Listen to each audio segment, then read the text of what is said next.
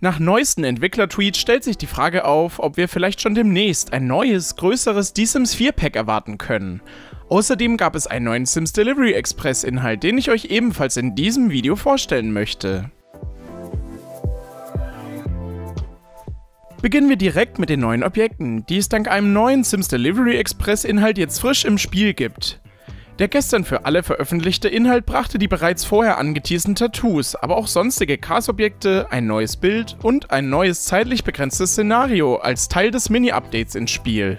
Im Erstelle einen Sim-Modus können wir uns jetzt über diese neue Frisur freuen, die allerdings stark an bereits schon vorhandene Haarschnitte erinnert. Diese steht ebenfalls nur für Erwachsene und nicht aber für Kinder oder Kleinkinder bereit.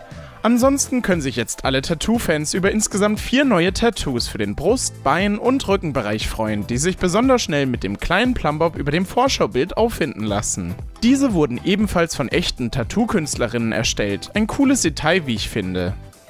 Für alle, die bereits schon die neuen Bademäntel, Kopftücher und Hauben bei den Erwachsenen verwendet haben, gibt es gute Neuigkeiten. Diese können nämlich jetzt ebenfalls von Kindern und Kleinkindern verwendet werden. Gehen wir weiter zum neuen Szenario, welches bis zum 25. April gestartet werden kann. Ab sofort kann nämlich das neue inspirierende Unterrichtsszenario durchgespielt werden. Diesem müsst ihr als Erwachsener oder Teenager andere Sims mit Level 10 eine der aufgelisteten Fähigkeiten beibringen und dazu ein Fähigkeitenbuch schreiben. Und auch der Baumodus geht nicht leer aus. Hier erhalten alle Spieler dieses neue Gemälde, welches vom echten Künstlerteam Lano stammt. Weiter geht es mit einer spannenden Mini-News, denn die Entwickler waren in der letzten Zeit besonders euphorisch, was neue Inhalte für die Sims 4 angeht.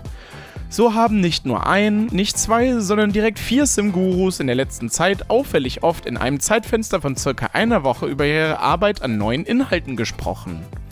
Es ist nichts Ungewöhnliches, dass die Entwickler ihre Euphorie teilen, aber in dem Maße passiert das tatsächlich nicht wirklich oft. Auch wenn wir hier keine wirklichen Details oder Hinweise bekommen haben, klingt es so, als wäre das nächste größere Pack schon relativ weit in der Entwicklung. Da wir jetzt schon letztens ein größeres Gameplay-Pack bekommen haben, wäre es doch mal wieder Zeit für eine neue Erweiterung. Aber auch von den Accessoire-Packs haben wir länger nichts mehr gehört. Das letzte Pack aus dieser Kategorie Paranormale Phänomene ist auch schon wieder mehr als ein Jahr her. Lassen wir uns mal überraschen, ob wir vielleicht schon im nächsten Monat mehr Hinweise oder vielleicht sogar schon eine Ankündigung erhalten werden. Solange könnt ihr in die letzte Folge Sim gehört reinhören, in der ich mit meinem Kollegen Micha von simtimes.de über das letzte große Update sowie Set gesprochen habe. Außerdem könnt ihr noch bis zum 31. März ein Pack nach Wahl bei meinem Partner Instant Gaming gewinnen. Schaut in der Beschreibung vorbei. Wann rechnet ihr mit einer Ankündigung einer neuen Sims 4 Erweiterung? Könnte schon demnächst soweit sein? Schreibt mir das doch gerne in die Kommentare. Wenn euch das Video gefallen hat, lasst doch gerne einen Daumen nach oben und ein Abo da. Also dann, bis zum nächsten Video.